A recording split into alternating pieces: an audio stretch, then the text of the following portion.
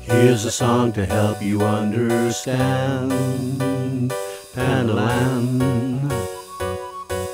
In Penylan, the population has diversity.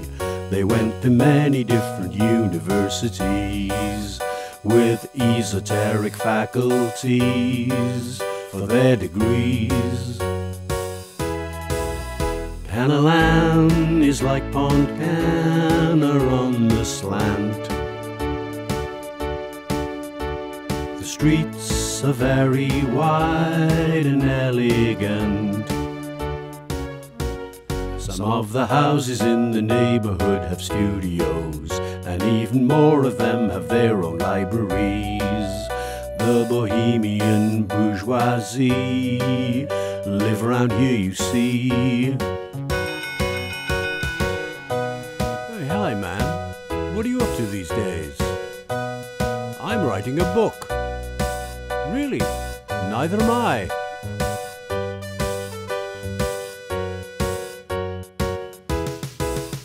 Penylan is where rich hipsters choose to dwell. Artists and musicians, of course.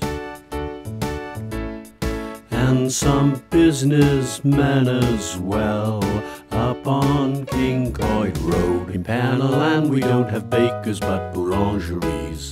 The more pretentious claim to be patisseries, and several delis selling cheese to the retirees. We also have a multitude of coffee shops where cappuccino is considered so old hat. You may very well look a prat if you order that.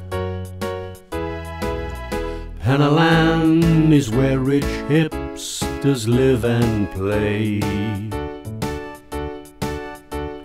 Waitrose isn't very far away for free trade Chardonnay. Penylan's a very pleasant place to be. So handy for the university. Penylan.